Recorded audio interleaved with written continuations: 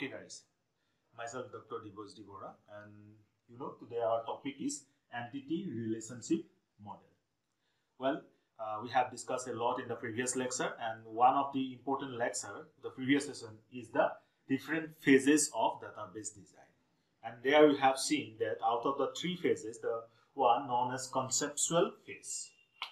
Okay, conceptual phase. So in the conceptual phase, design phase, what we focus is the ER or entity relationship model. And this is the very important step because by this phase and by this model, actually we get to know about the different attributes and the relationship among different entities. Okay, and then accordingly, what are the means needed attributes in our table, we'll decide about. So ER model is very important during the database design phase. So this is the first lecture on ER model.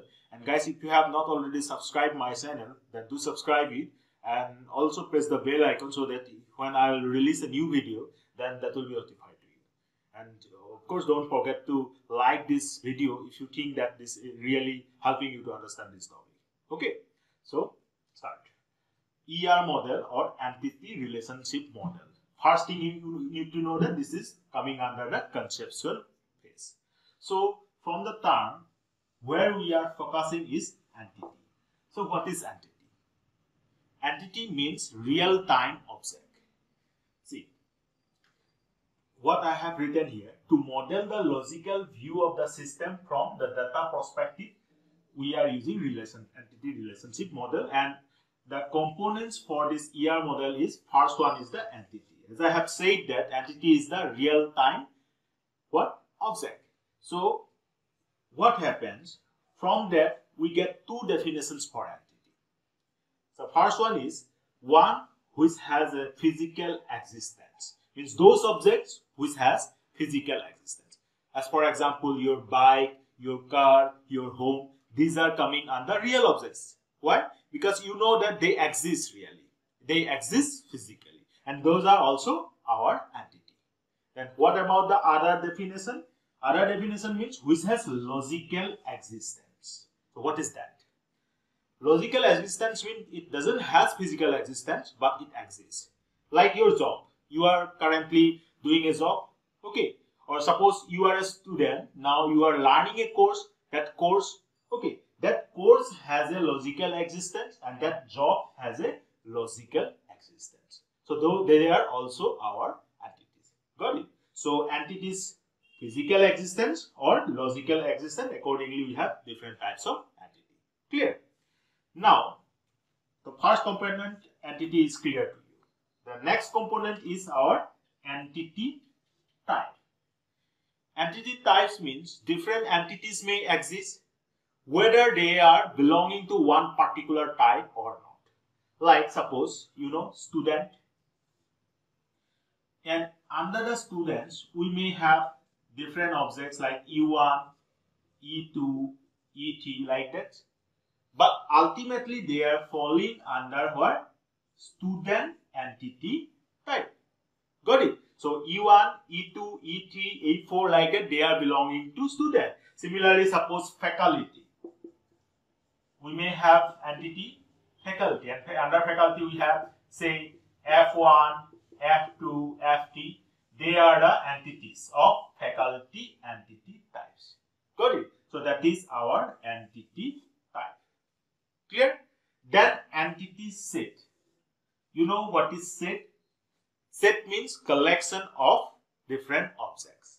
So from that it is very clear that entity set means it will be a collection of different entity types. Type 1, type 2, like. Got it? So I am considering one example. So here I have taken student and now do remember that in ER model, we are following some standard symbols to represent those components. So to represent entity type, we use this rectangular symbol. Is this clear to you? Is this visible to you? You see this symbol. This symbol is used for denoting entity. Okay, the support faculty, say this is faculty. So this is an entity type that is representing faculty. Okay. Now, as I have said, entity set. Entity set consisting of more than one entity. So say E1, E2, E3, En. So we'll uh, draw a symbol like this one, you know, this one. And under it, we'll write like that. Now, this will indicate the entity set. Okay, suppose for faculty 1, F1, F2, Fn. So this will denoting entity set. So guys, I think entity, entity type, entity set, they are clear to you along with their symbol, this rectangular symbol and this symbol. Because these are sometimes confusing to you. So many students forget like that entities, entity type, but you should know the difference between them. After that, one important component of our ER model is attribute. So what is attribute? Attributes indicates properties. Like suppose I am considering this student. Okay. In student what you will find? For every student you will have one student ID. Isn't it? Then as name. Then as say contact number. Okay, so they are denoting the properties for the student entity type. So these properties are known as attributes. Or I can say, in if we are going to study it is a table, then with respect to tables, they it is exactly denoting our columns. Clear? So attribute is represented like this shape. Okay. So this shape is used to denote attribute.